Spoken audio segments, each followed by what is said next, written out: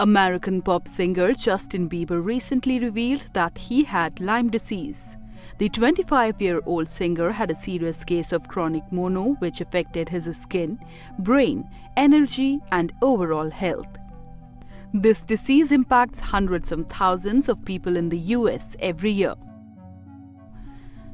So, what is Lyme disease and what causes Lyme disease?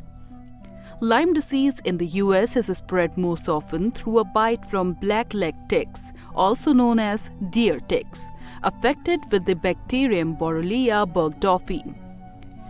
The blood-sucking spider-like insect wait for humans in grassy or wooded areas, resting on the tips of grasses and shrubs.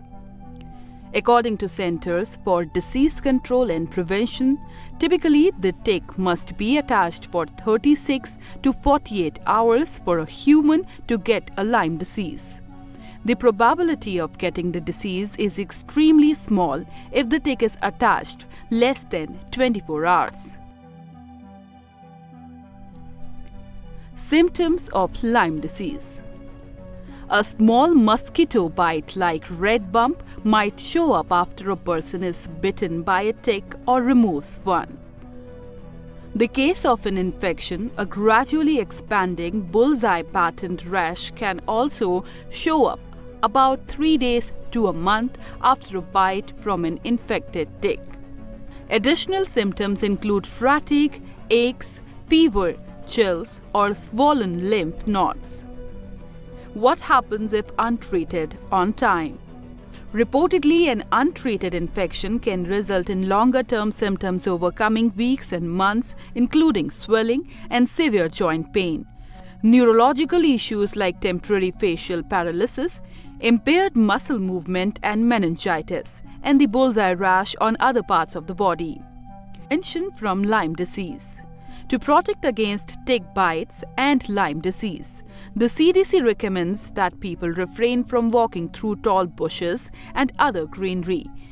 Use an appropriate insect repellent, search their body, clothing, and pets for ticks after trips outdoors.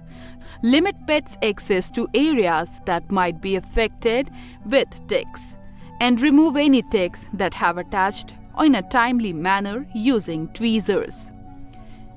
Treatment of Lyme disease. Through a 2 to 4 week oral antibiotics regime cures most Lyme disease cases.